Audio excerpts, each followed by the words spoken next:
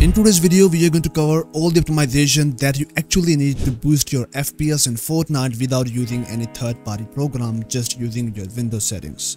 So guys make sure to watch this whole video and let's get straight into it. Here is a quick message if you want to get the lower ping and lower response time out of your mouse and keyboard in Fortnite or any other game. So guys you need Gear Booster on your PC. This is just one click setup. You can download the software for free from the link in the description. So guys in the very first step we are going to disable the power saving and disable the power throttling on our PC that is pulling back the performance of our PC. So guys for that you need to press Windows R together from your keyboard and type here gpedit.msc and hit OK or you can simply go for Windows search and search for local group policy and you will find out the same exact window. Now you need to go for computer configuration folder, administrative template, now go for system folder, scroll down and there you will find the power management folder. Go inside it, go for energy saver settings. If you are using the laptop, so this is one of the best settings for you. So go for energy saver battery threshold, so go for it.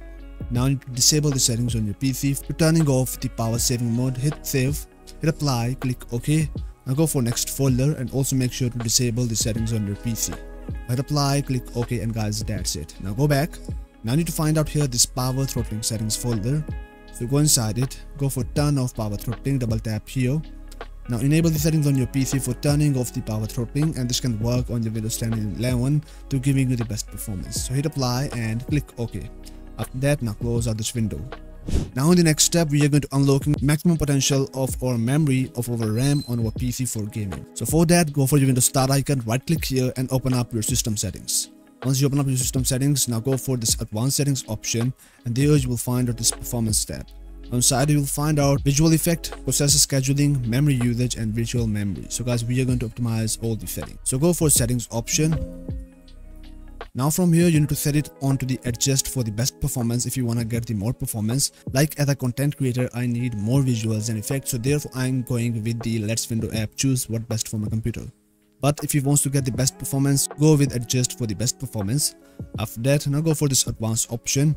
Adjust for the best performance and guys set it on your programs instead of background service for getting the best performance on your programs. Now go for virtual memory, go for this change button now here you will find that automatic manage paging file size for your old drive so uncheck this box from here and set your C drive on no paging file size. Now go for your D drive and there you will find out the settings so go for custom size option. Now here you will find our initial size and maximum size. So finding out the best number according to your RAM, you need to open up your calculator on your Windows. Now use here the same calculation so guys now type here the size of your RAM I have 16 GB of the RAM so first I need to convert it into the MB to multiply with 1024 and here we got our RAM in the MB. Now multiply this number with 1.5 time of your RAM size and hit OK.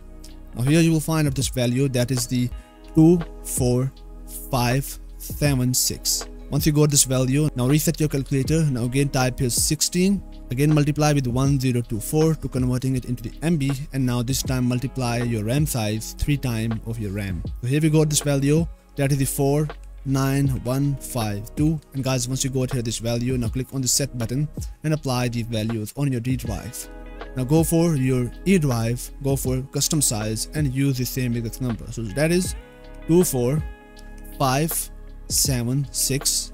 Go for maximum size and type here 491 152 so once you type here this exact number click on the set button again hit on this ok button and guys the changes you have made require you to restart your computer before you can take effect. So guys click on this ok button hit apply and again click on this ok button for saving these settings. So guys now the next step we are going to use the windows or microsoft original windows optimizer software. So guys for that go for your windows search search for pc optimizer and here you will find our pc manager app. This is officially introduced by the microsoft so therefore you not need to worry about anything. This will handle everything for you in just few clicks. By the way you can download the software from the link in the description. Simply go there and download this tool on your pc so guys click on the start button and guys here you will find that this clean interface Welcome to Microsoft PC Manager 3.12.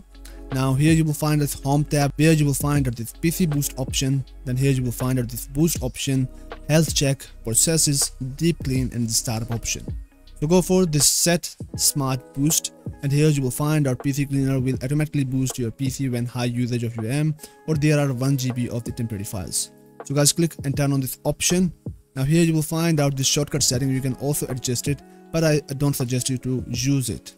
Now after that, now click on this home button again. Now one time click onto this boost button and this will optimize your RAM usage and also clean all the temporary files from your PC. Now next here you will find out this option that is the deep clean so go inside it. This will scan your whole PC and find all the junk file of your PC. Now check mark on system checker file. Now here you will find out this application cache. You can delete all the cache from your PC. I'm using the Google Chrome so there is 3.5 GB of the cache so I don't want to delete it. So uncheck all these boxes which you not want to delete. After that here you will find out to delete temporary edge files. So check mark here click on the proceed button and guys we have cleaned like 200 MB data from our PC now after that now let's go for the next step that is for your apps tab and there you will find that your process manager startup apps uninstall and Microsoft Store. So go for uninstall app folder. There you will find out all the apps installed on your PC and if you find out any unfamiliar application you can simply uninstall that app from your PC.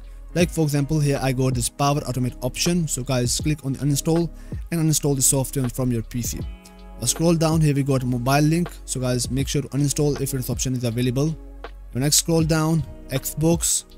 Uninstall from your pc now scroll down mail and calendar. So guys also uninstall from your pc now uh, scroll down and find out any other application you want to remove from your pc you can guys simply uninstall that from here. So now simply close out this tool. Now you need to one time restore your PC there for all the changes to take effect, then launch your Fortnite and enjoy the actual FPS boost on your PC. I hope you love it, please make sure to drop a like, subscribe to my channel and see you again in the next video.